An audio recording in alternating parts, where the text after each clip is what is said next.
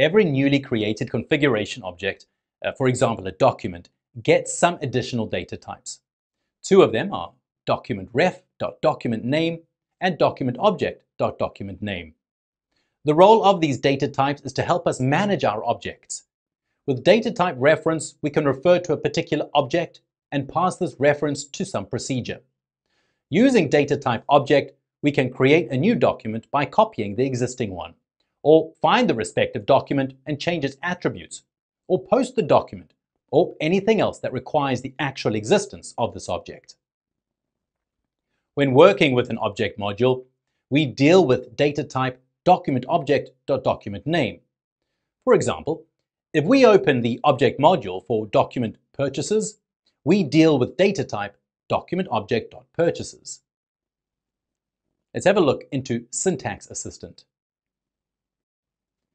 We can see many data types for documents. Each data type has properties and methods, and some of them also have events. Properties are values stored in documents. Methods are functions and procedures that can be applied to documents. Note that we can access any property described in this section from object modules. Now, let us check methods. Here we see the list of methods available to us within object modules. Consider the following example. We use method pointInTime to display the time when the document is saved. We also get access to the document attribute contractor. Here is how the code runs in the 1C Enterprise mode. We place a random breakpoint in our object module to call window evaluate expression. Here we follow document attribute contractor.